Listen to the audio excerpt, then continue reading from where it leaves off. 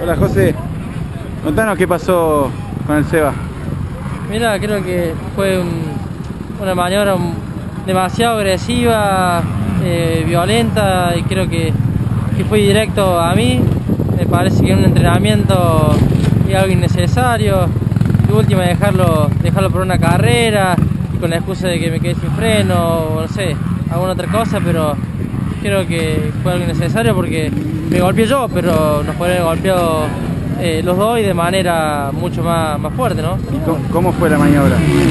Mira, yo lo, paso algo de 150 metros antes, porque él venía, yo venía despacio, él venía todavía más despacio que yo, lo paso, yo sigo súper tranquilo eh, y la próxima curva que era a la izquierda, que fue a los, a los siguientes 150 metros, venía tranquilo por dentro y de golpe sentí el, toque, el toque fue muy, muy agresivo, vuelvo a repetir sin, ninguna necesidad y bueno, fui al suelo, eh, me, tuve que hacer unos puntos en el codo y la miro otra vez eh, de afuera, ¿no? Así que bueno, esperar la próxima, no queda otra.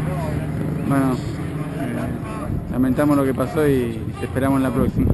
Así es, ojalá pueda estar presente la próxima y agradezco a mi equipo con Arpesa, a Villanueva, a Protor, a Ticera y bueno, y a toda la gente del equipo que siempre se porta de maravilla.